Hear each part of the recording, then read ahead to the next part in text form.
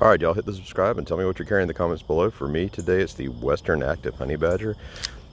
This is a lesser known knife, but that's a shame because it's really well made. Love the honeycomb pattern on the scales here. D2 blade, great honey badger.